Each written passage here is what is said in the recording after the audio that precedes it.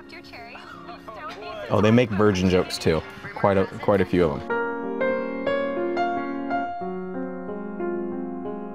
Do you think Chris Harrison realizes I've already had the sex talk? You know, on my poster where it says, "What does he have to lose?"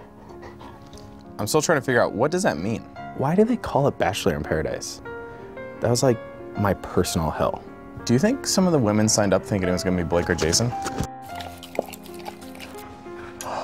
Is that for me? Do you know who Peter is? Do you think America will ever think I'm as good looking as him? You're such a good listener. I feel like you get me. Like you just understand me. I'm showering again. Really clean. Do you think I'm still in the doghouse with Tia? No? Yeah. Do you have any scoop on Nick Viall and January Jones? Ooh, they're just kissing. Do you think I'll ever be as popular as Ben Higgins?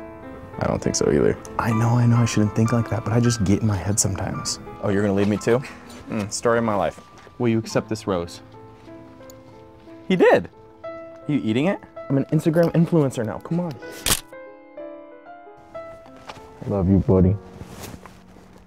Hey there, thanks for watching. Don't forget to hit that big old red subscribe button below for more great e news content from breaking news stories to A list celebrity interviews. E news on YouTube will keep you pop cultured.